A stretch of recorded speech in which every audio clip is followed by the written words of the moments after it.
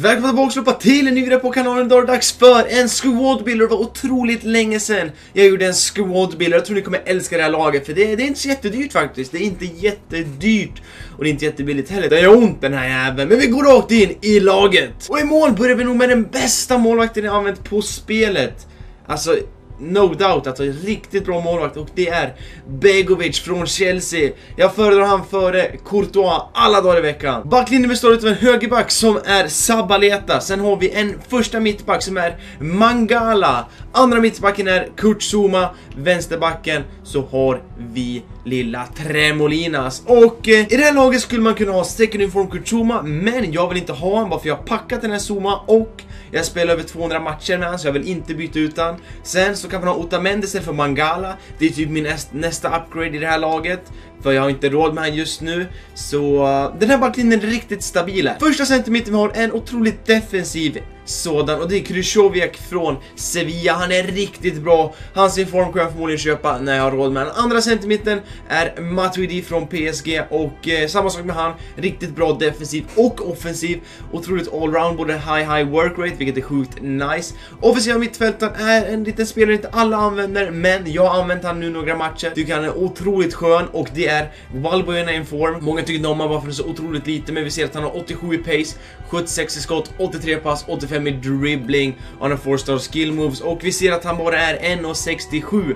Han är jätte jätteliten, alltså tiny tiny, men jag älskar han för otroligt bra teknik och han är otroligt snabb. Vi börjar med vänsterytten här uppe på den här fronttrion som är helt deadly. Jag tror de flesta redan vet vad det är för spelare och det är Konoplyankas första inform, bara för jag kände det att jag vill inte lägga så mycket mer extra på hans second inform när jag inte har råd med liksom eh, Otamendi. Men Konoplyanka är riktigt snabb, han har 93 pace, 78 skott, 83 pass, 86 dribbling, 4 star skill moves. Han är ganska stark också.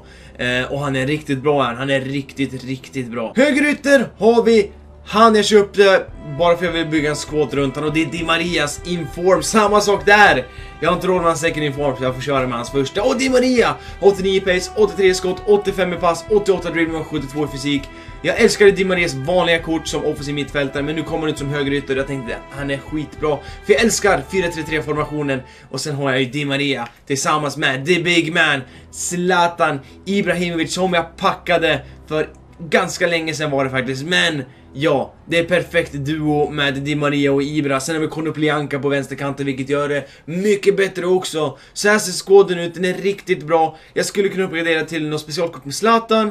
Krychowiak skulle kunna få en form, Eh, Mangala bytt ut mot Otamendi så uh, skulle det bli skitbra det här. Men jag tycker det redan är hur bra som helst. Och uh, ja, jag tycker vi drar in i en match alltså. Vi drar in i en match.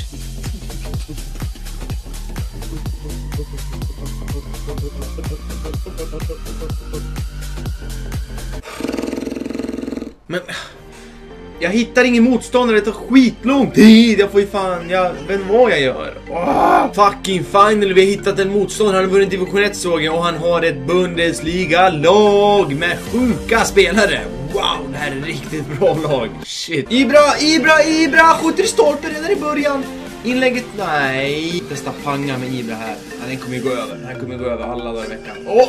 Oh, stolpe!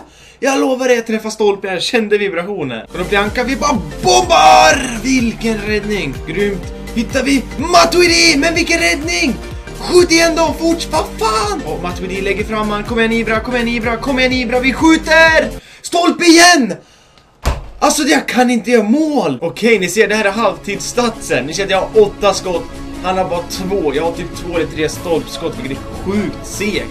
Jag bör verkligen leda den här matchen och det här är en division 1 match, jag vill gärna vinna den också. Konoplianka, inlägget. Åh, oh, Ibra, Ibra, Ibra, Ibra! Ja! Vi är mål! 1-0! Det där är mitt mål jag gör. Som inte ska vara mål. Alltså de andra lägena jag haft bör vara mer mål än det här. Men jag tar det alltså, det är 1-0, det är ju ganska turligt det där. Men Ibra med vänsterfoten och det är 1-0. Där blåser han av, vi vinner första matchen med 1-0! Fan, det är bra alltså. Vi vann med 1-0, men det var ett turligt mål, men jag förtjänar det. Alla dagar i veckan. Och såklart så var det Ibra som gjorde mål. Vi ser Valbuena, man of the match, han som jag tycker är riktigt bra. Om ni inte har Wow, vad händer med fokusen? Kom tillbaks. Hallå? Kom tillbaks. Nu är fokusen tillbaks! Så om ni inte har testat Wildwinner bör ni verkligen göra det, även om ni inte är ens i form utan hans vanliga, utan det är riktigt bra kort det. Wildwinner är riktigt bra, vi ser statsen här, jag har 11 skott, han har 4, jag har 6 på mål, han har 1. Yes! Om ni har gillat den här videon kan du trycka på like-knappen för då vet jag att ni vill se squadbills. Så Jag kan säkert göra billigare squadbills, dyrare squadbills sen i framtiden. Så om ni gillar squadbills, tryck på like-knappen. Det skulle vara riktigt intressant att se om ni vill eh, ha squad. Jag tror det här är min första squad på FIFA 16 och nu har fokusen, nej nu kommer den tillbaks. Det är min första squad på hela FIFA 16 tror jag. Ni får gärna skriva vad ni tycker. Så ja, ni får ha det så bra så hörs vi sen. Hej!